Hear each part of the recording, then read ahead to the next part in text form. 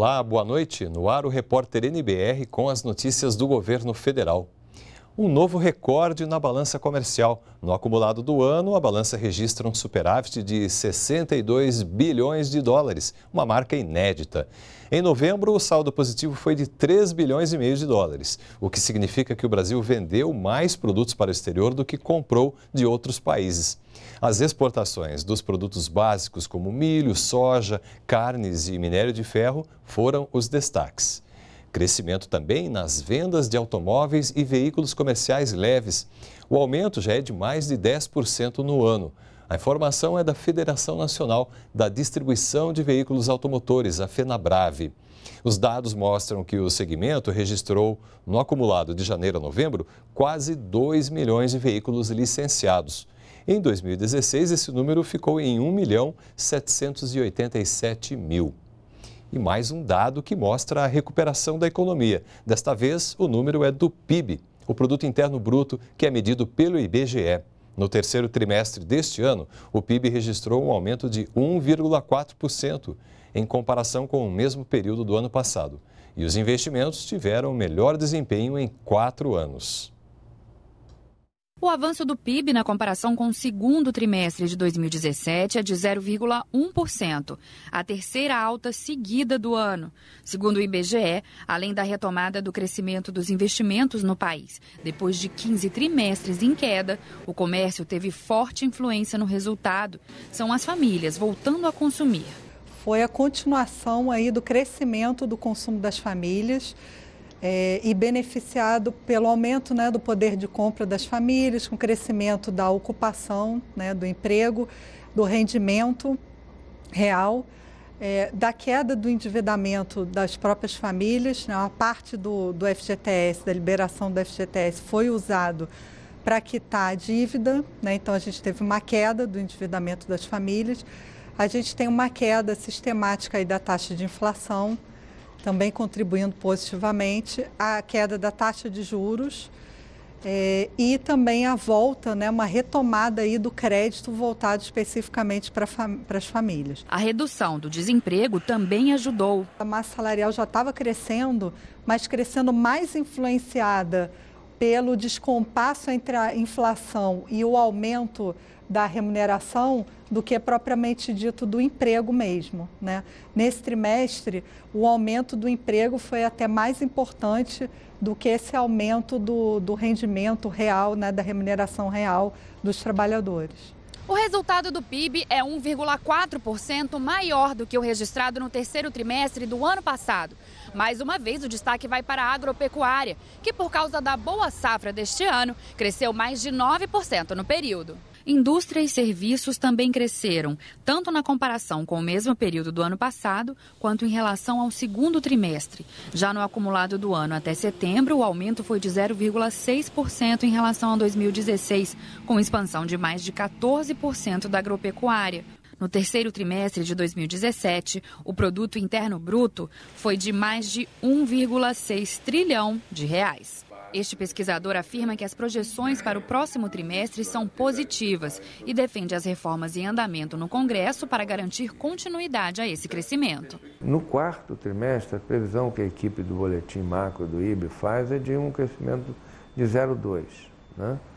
e o ano terminando positivo na ordem de 0,9% a 1%. Isso é um resultado espetacular, porque nós viemos uma recessão de de, de 11 trimestres que roubou 8,2% de PIB do brasileiro. Ainda sobre o aumento do PIB, o ministro da Fazenda, Henrique Meirelles, publicou nas redes sociais um quadro que mostra a evolução do produto interno bruto entre os anos de 2015 a 2017. Nesse período, o Brasil conseguiu reverter o quadro da, da crise, saindo de menos 1,6% para mais 1,4% este ano. A Agência Nacional do Petróleo divulgou na internet as áreas para exploração e produção de petróleo e gás natural disponíveis.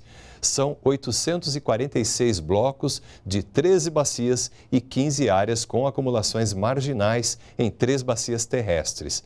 Até o final de abril de 2018, a ANP vai divulgar as regras do processo de licitação dessas áreas. No próximo ano, os empreendedores da região Centro-Oeste vão contar com mais de 9 bilhões e meio de reais em financiamentos do governo federal. Os recursos são para empreendimentos na indústria, no comércio e nos setores de turismo e de serviços. Biscoito, bolos, salgados, pães e doces. Aqui é possível encontrar de tudo um pouco.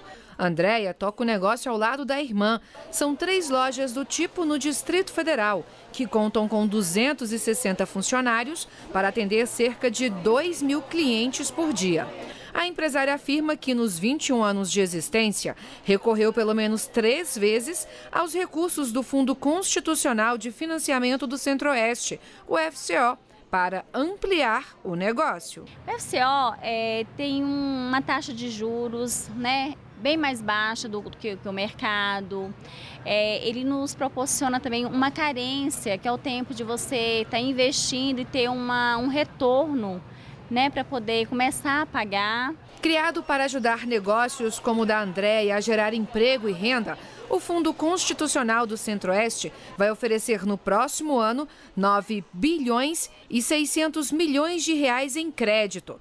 Os recursos são administrados pela Sudeco, a Superintendência do Desenvolvimento do Centro-Oeste. A Sudeco ela financia desde empreendimentos voltados para o setor a área de comércio e serviço, tanto indústria, agroindústria, né, o setor de turismo, a infraestrutura, é, ela financia praticamente tudo. O fundo ele foi criado justamente para financiar o setor produtivo de uma forma geral. Vai ser desde investimento fixo a investimento semifixo, a capital de giro, entre outros financiamentos. Serão destinados 1 bilhão e 800 milhões de reais para o Distrito Federal. Goiás vai receber 2 bilhões e 700 milhões. Já para Mato Grosso do Sul, estão reservados 2 bilhões e 200 milhões de reais. E Mato Grosso vai ficar com 2 bilhões e 700 milhões de reais. Nos 28 anos de existência, o Fundo Constitucional do Centro-Oeste injetou na economia da região 69 bilhões de reais. Foram quase um milhão de operações que levaram à manutenção ou à geração de mais de 7 milhões de empregos. A gente pede que coloque nos projetos a quantidade de empregos entre diretos e indiretos que vai ser gerado por aquele financiamento. Nós ficamos por aqui. Você pode rever as reportagens no YouTube e toda a nossa programação também está na página da NBR na internet. Continue com a gente, NBR, a TV do Governo Federal.